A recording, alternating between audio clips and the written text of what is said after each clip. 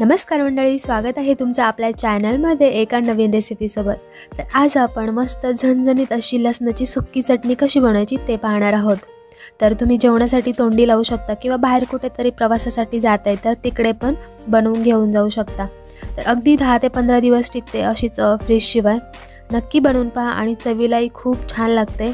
तर रेसिपी पाहण्या अगोदर चॅनलवर नवीन असाल तर सबस्क्राईब नक्की करा. चला सुरुवात करूयात. तर इथे मी कढई तापत ठेवली होती गॅसवरती. त्याच्यामध्ये थोडेसे शेंगदाणे घातलेले आहेत. ते पहिल्यांदा मी ऑलरेडी भाजून घेतले होते पण पुन्हा एकदा थोडेसे भाजून घेऊयात.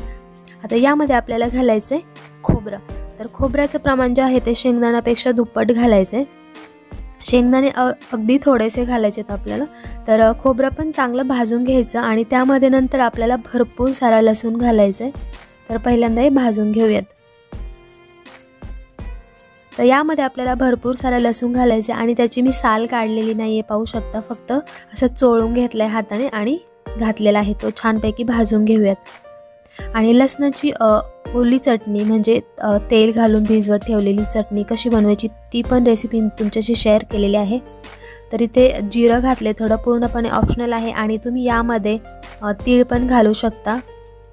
त्याने पण खूप छान टेस्ट लागते तर छानपैकी भाजून घेऊयात आपण.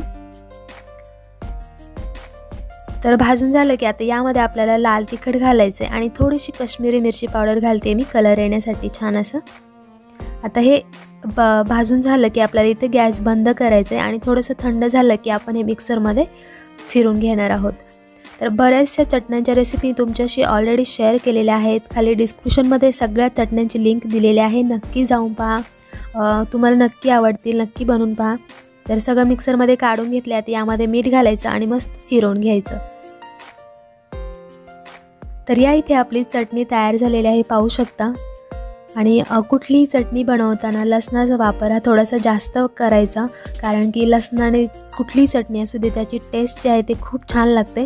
आता इथे मी प्लेटिंग करते. तर कशी वाटली ही रेसिपी तुमच्या कमेंट्समधून मला नक्की कळवा. आवडली जर असेल तर नक्की बनवून पहा. चॅनलवर नवीन असाल तर सबस्क्राईब नक्की करा. व्हिडिओला लाईक करा शेअर करा. पुन्हा भेटूया असंच एका छान रेसिपीसोबत तोपर्यंत बाय